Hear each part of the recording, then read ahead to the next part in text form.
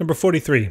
The escape velocity from the moon is much smaller than from Earth and is only 2.38 kilometer per second. At what temperature would hydrogen molecules, which has a molecular mass of about 2 gram per mole, have an average velocity of v sub rms equal to the moon's escape velocity? All right. So basically what we need is we're trying to find the temperature and we're basically given the root mean square velocity okay, which is this number right here. We might not have it in the right units, but that's essentially the value. So what we need to know is we need to know then an equation that relates temperature to root mean square velocity. Now we have one. Okay, we have this formula that the root mean square velocity is equal to the square root of 3 multiplied by the Boltzmann constant multiplied by the temperature in Kelvin divided by then the mass of a single atom or molecule, depending upon what you're talking about. In this problem, we're talking about hydrogen molecules, all right? So this will be the mass of a single hydrogen molecule. Now, if you're wondering where this equation came from, please check out my general video on the kinetic theory of gases. I talk all about it. It'll be very helpful. So what I realized, though, is that this equation relates velocity to the temperature.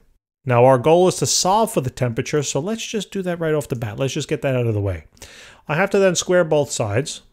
All right, so I have then V sub RMS squared will equal then 3 times K times T all over M. Right, it gets rid of the square, gets rid of the square root over here. Now the goal is to solve for T. All I need to do then is remove these three terms from the uh, from the right-hand side, basically, right? So how we're going to do that is by simply taking what's in the numerator on the right-hand side, bringing that down into the denominator on the left, bringing whatever in the denominator on the right-hand side and bringing it up into the numerator on the left, and then just put your little division sign and voila, all done. Simple, okay? And there's the formula. Now we need to know these three things. Do we know the uh, root mean square velocity we want to plug in? Well, we know it in kilometers per second, but we need it in meters per second. Oh, these silly people giving us these units, right? So all I need to do is convert this into meters per second, but you know, we can just simply take the kilometer value, multiply it by a thousand. So this should be simple. This should be 2,380 meters per second. Okay, that would be the velocity that we're going to use for the problem. If you're not sure of how I arrived at this, the dimensional analysis, I've actually done it on problem number 42. So check that one out. All right, I did the work over there. Now I will do the work for this one. All right, we have to then find the other missing piece then in this formula is going to be the mass of a molecule of hydrogen. So basically they gave us the mass per mole and we need to know mass per molecule right? Why? Because we're talking about hydrogen molecules here. So how do we do that? Well, we're going to take the 2.016 gram per one mole, and we need to convert this then into kilograms. Remember, mass in physics is going to be in kilograms, divided then by, or over, I should say, molecule. That's our conversion. That's how we got to do it. Well, not how we got it. That's what we have to do. That's not how we're going to do it. But this is how we're going to do it. that reminds me of that movie. Uh, it's with Will Ferrell. Oh, what was it called? I don't remember now. And I think was it Zach Galifianakis? I think so. And he was like, uh, he was like, that's how we're going to do it.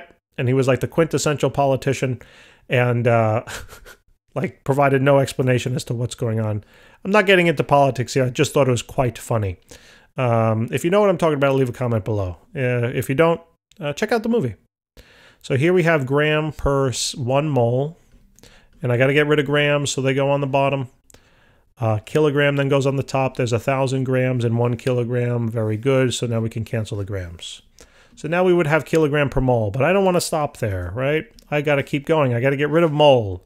So mole goes in the numerator this time. Why? Because it originated in the denominator. So you have to put them on opposite sides. So moles on the top and then molecules on the bottom. And we know that this is Avogadro's number now. 6.02 times 10 to the 23rd molecules in one mole. That looks like 73 down there, doesn't it? But I meant 23. Okay, and now the moles will cancel. So see you later, mole. And now all we got to do is just plug this on into the calculator. So here we have 2.016 divided them by, in parenthesis, 1000 multiplied by 6.02 times 10 to the 23rd. And we get a uh, kilogram value of 3.35 or so times 10. I guess I should have four sig figs, but whatever. Uh, well, I guess not because this is I rounded to 3 here. Honestly, who cares? Um, this is to minus 27. And this will be then kilogram per molecule. Okay. When we plug in the units here, we're only going to plug in, you know, the unit of kilogram into the formula here. We needed to know the mass per single molecule, and that's what we just that's what I just proved to you that we found. So now all I now all I need to do is just plug it all in, right? So let's plug in the mass is going to be 3.35 times 10 to the minus 27th. The velocity then was 2,380. That's going to be squared. And then simply divide that now by 3 multiplied by our Boltzmann constant of 1.38 times 10 to the minus 23. This is all equal to the temperature. And now finally, lo and behold, let's see what we get. So we'll take that answer, multiply it by 2380 squared, divided then by 3 times 1.38 times 10 to the minus 23rd. And we get about 458 Kelvin or so, right? 458 Kelvin. And that's the temperature.